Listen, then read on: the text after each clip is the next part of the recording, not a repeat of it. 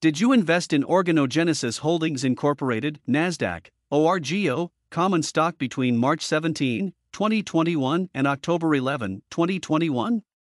Jakubowitz Law Firm represents shareholders who've been a victim of securities fraud.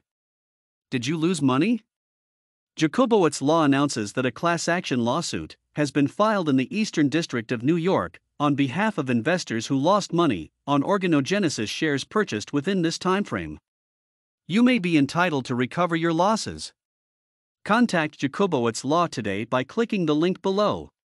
According to the organogenesis lawsuit, defendants made false and or misleading statements and or failed to disclose that 1. Organogenesis improperly billed the federal government for its affinity and PuraPly XT products by, among other things, setting the price for those products multiple times higher than similar products.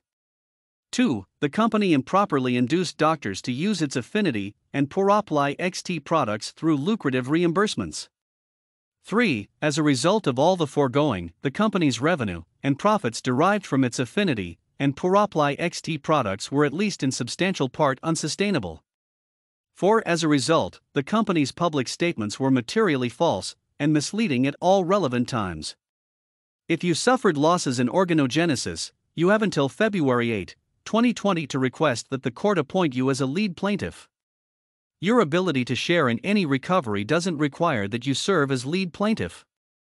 Don't miss the deadline, submit your information today. This video may be considered attorney advertising under the laws of your states, and prior results do not guarantee similar outcomes. Jakubowitz Law is waiting to hear from you. Thanks for watching, click subscribe, and be notified of another securities announcement.